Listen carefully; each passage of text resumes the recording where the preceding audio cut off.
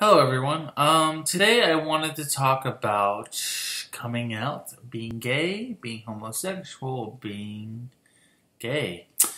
I came out about around October, November. Oh no, all right, yeah, it's around there. Uh, seven years ago, 2010. It's 2017. Um, and I talked to my parents. I didn't have sex with any girls I was just hiding it my whole life. I was. I never had a relationship with a girl. For a variety of reasons. They probably could tell. Um, they could tell I wasn't interested, I wasn't going forward, and I hid that and put it in other places.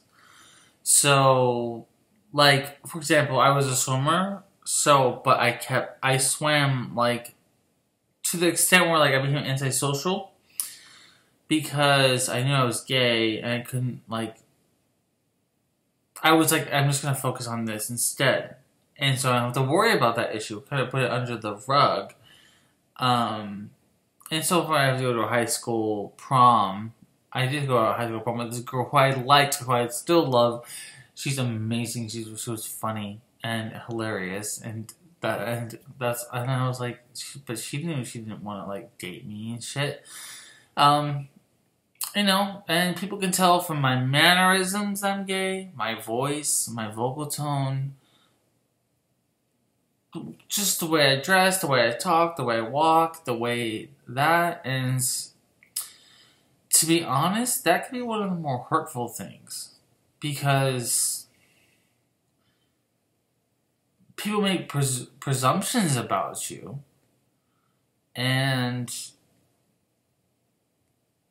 assume you're something and when it is true but in a negative way.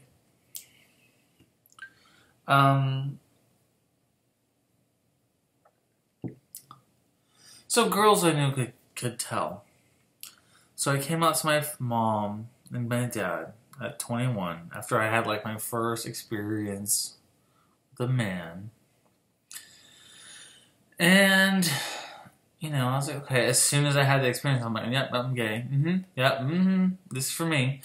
And, I, yeah, I just knew it. I just knew it. You just knew. And, um, I had a bottle of champagne.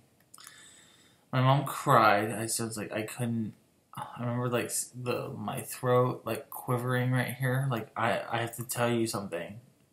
I have to tell you something about about about about about about about my sexuality, and it was like just fucking right here. I couldn't remember. I'll never forget it. And like waiting forever to say that, and then like they knew. Of course, my mom cried. I'm not gonna have grandchildren. Well, my brothers are straight and not having grandchildren, so what's the fucking deal? Um, and that's just being hard on your psyche.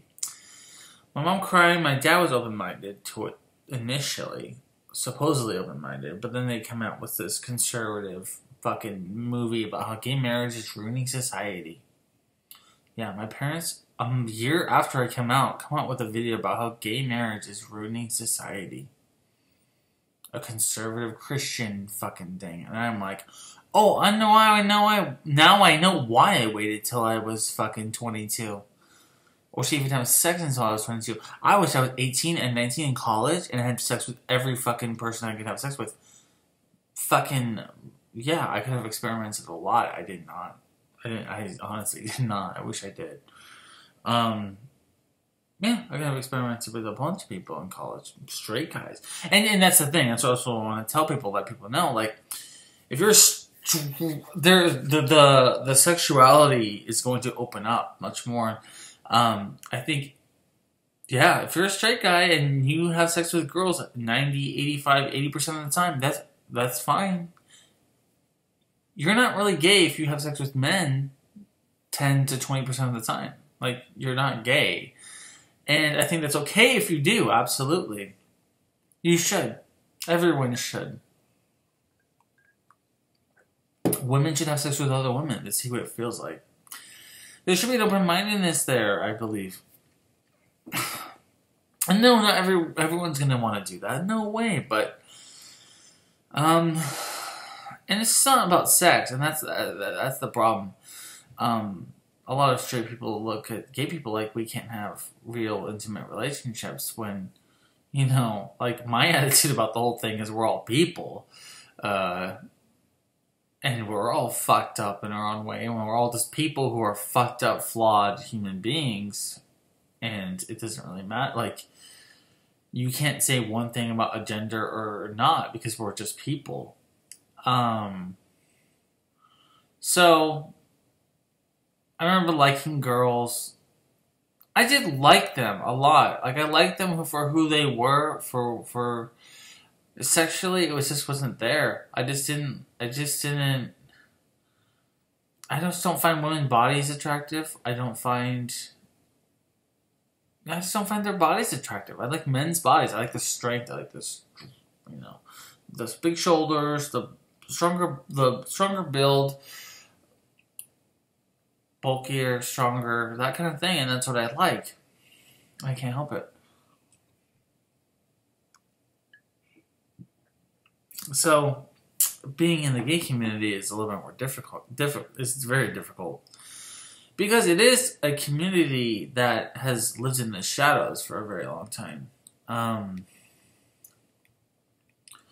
you know, there's some creepy 45, 50 year old men, whatever it is, you know, like, who are just creepy and who, like, live by these very harsh rules and, and some things that they had to do to survive, I believe. Growing up in the 80s, coming out in the 80s, that kind of thing. And they have to just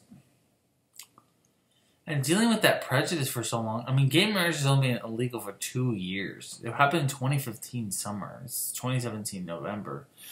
About two years. So it's not like enough time for things to change. And coming, looking back on it, coming out, I don't know. I don't know if it was the best thing. I, uh, I mean, it is the best thing in the sense that I have come out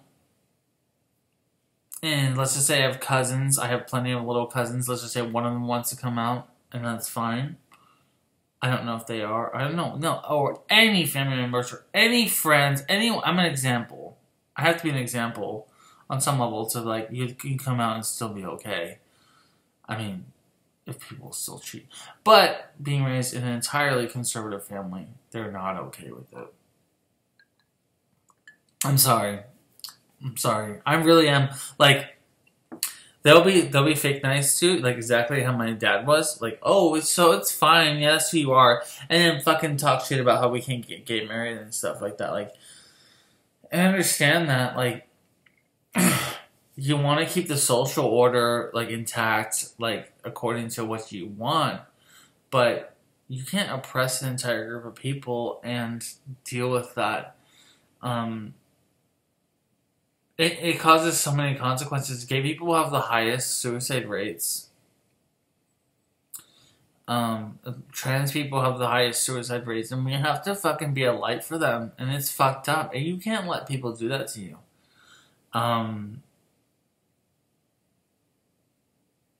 so that's what's important. That's why it's important to come out and be like, I am, you know, and I've been, I mean, of course it's been a struggle for me. It's been a struggle for me. It's been a struggle for any gay person, but,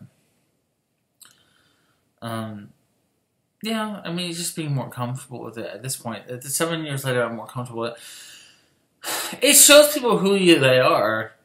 It you have to be honest. That's the problem with being gay. I mean, that's that's that's the the bonus and the minus to it is you have to be honest with yourself. You have to be like, hmm. You have to step back and go, hmm which life do I want to live? And you have to go, hmm, okay.